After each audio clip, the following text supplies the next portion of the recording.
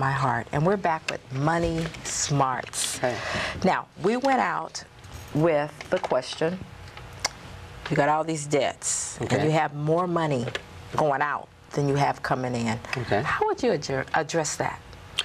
Well, that's the number one issue that I deal with, first of all, so that's a very good question. Okay. The first step is to distinguish your wants versus your needs. Okay. Now, if you were to get it out of a sheet of paper and jot down everything and every place your money goes, Mm-hmm. and then go behind that and cross out the needs, Uh-huh. not the wants, but the needs, Uh-huh. that will free up money right there, Okay. first of all. Right. I don't want to give all the secrets away in the Okay. middle. of the We're going to kind of keep them, you know, on the edge of their seats. Okay. But we want to get back to that.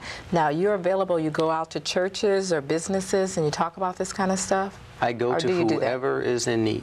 Okay. Whoever can use my services, I'm willing to go. Okay. Yes. Okay. Mm-hmm. Okay. All right. Now, we have another chart there. Yes, uh, the second And that's what you were talking about. Go on. Yeah, second step is to do this. This was my Christmas present to myself Ah. uh, a year and a half ago. These were my cards, my credit cards, and they were all open and being used at one time. Mm. And I'm happy to say at this time that they're all cut off, paid, and closed off. Praise the Lord. Now, how long ago? About two years. Two years ago. Word. now, what kind of balances? Are we talking $100? We're talking a total of thirteen nine eighty five. That's Really? thirteen thousand.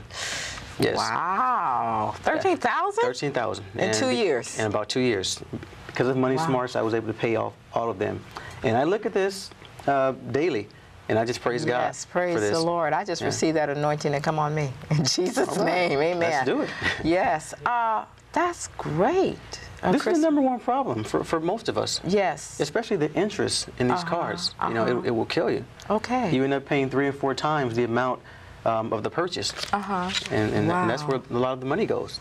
So if you can cut this out, and instead of paying out the interest, keeping it to you, then you have extra money to pay off the debts and to Mm-hmm. Tithe, Amen. and have money left over. Hmm, I like that. Now we're talking about life more abundantly, opening open up the windows of heaven.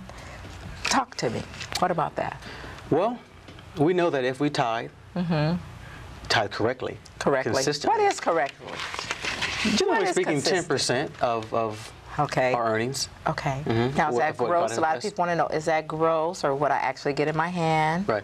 Well, I'll put it like my marriage instructor told me. Okay. Do you want a gross blessing or a net blessing from God? Oh, well, hey, that was good. Use okay. that and All right. that lead you. Very good. Okay. Uh, but you know, in, in order for that to happen, to take place, you, you need to do what God says. You can't, you cannot rob God That's and then true. expect Him Yes. to bless you more abundantly. Amen. Amen. So, you got all these bills. You need to pay your tithes. Okay. Say like an average person. Here's a mother. Okay. with one child, and that's the only income she has. Okay. And uh, let's say she's getting 750 every two weeks. Okay. Mm-hmm. So that's 75 dollars out of that. Okay. 750. That's 1500 a month in her hand. Okay. Okay. So she's tithing. She's giving. You know, giving. So she has rent. She has what expenses for the children. She's got child care. Okay. I mean, all this stuff. Right. Now. Prior, prioritizing, is that right? Yes. So you work with people to sh- the important things first, or Yeah.